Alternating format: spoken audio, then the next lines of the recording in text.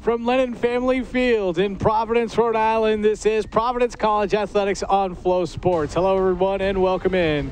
I'm George Bannister alongside our fantastic crew here in Providence, and we have another beautiful Sunday, albeit a bit windy and chilly.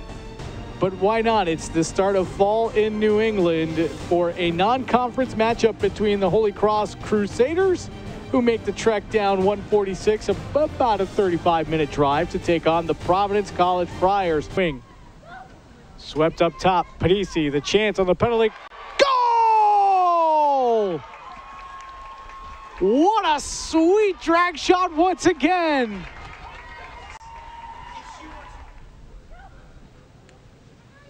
Pennisi, drag shot, score! Second of the game!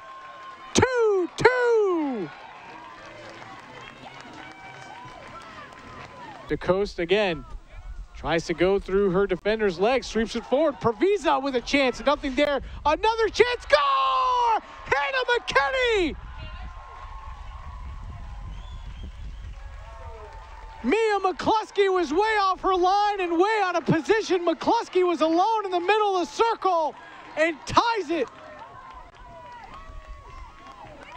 It all starts with the effort by Ali DeCoste.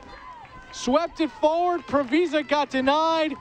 All alone, middle of the circle. Hannah McKenney.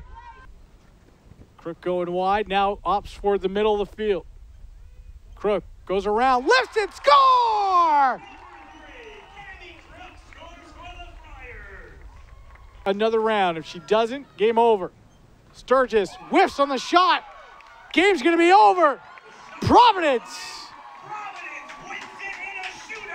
It took 80 minutes of playtime and a shootout in the seventh round, but Providence comes away victorious. A 4 3 win